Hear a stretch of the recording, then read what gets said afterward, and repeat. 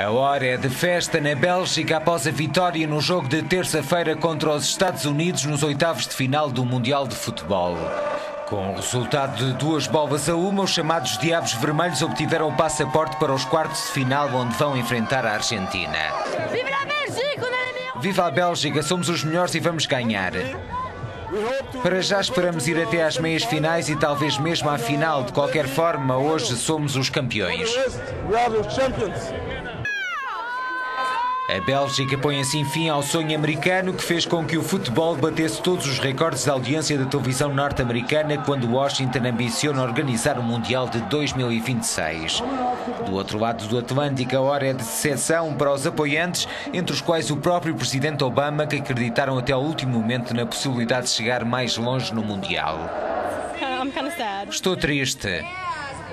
Desapontado, sim, não é justo. Um pouco desapontado e um pouco triste. Isto é suor e não lágrimas, mas estou um pouco triste.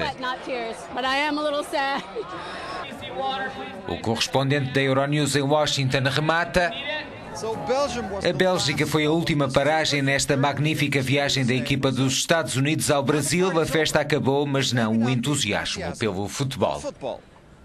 Stefan Grobe, Euronews, Washington.